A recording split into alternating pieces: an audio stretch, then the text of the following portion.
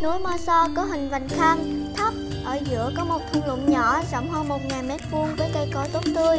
Ngọn núi này cùng với núi Sơn Trà và núi Mây hợp thành một cụm núi, nằm trong hệ núi Đá Vôi, Kiên Lương, Hà Tiên và được người địa phương gọi là vùng ba núi.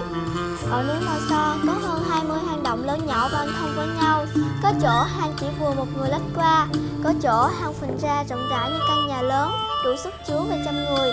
Đặc biệt, trong lòng hang động của Mơ So còn có những con suối ngầm chảy lượn lờ và có nhiều thạch nhũ khá đa dạng. Chính vì địa hình này mà trong những năm đầu kháng chiến chống thực dân Pháp, Bộ Tư lệnh Khu chính đã cho thành lập đội công binh số 18 đặt trong hang núi Mơ So. Theo lời kể của người trong cuộc, thì đội gồm 8 thợ chuyên môn, 20 người tập sự và 14 người phụ việc và đội đã chế tạo được vũ khí tự tạo, cải tiến vũ khí thu được của quân Pháp, đảm bảo cung ứng kịp thời cho các đơn vị chiến đấu.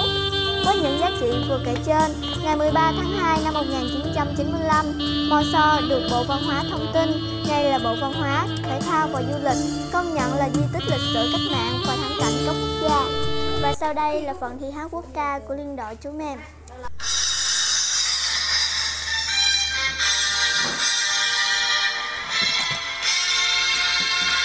đoàn quân Việt Nam đi bước dồn vang trên đường lộc mình xa. Cởi mau chiến thắng mang hồn nước, xuống ngoài xa trên khúc quân hành ca.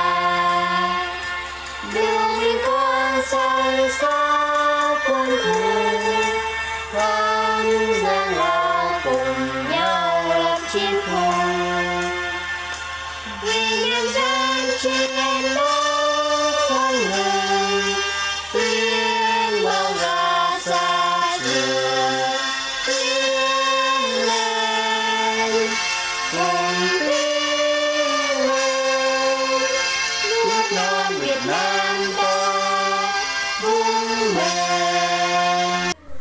Kính thưa ban tổ chức, phần thi của liên đội chúng em đến đây đã kết thúc.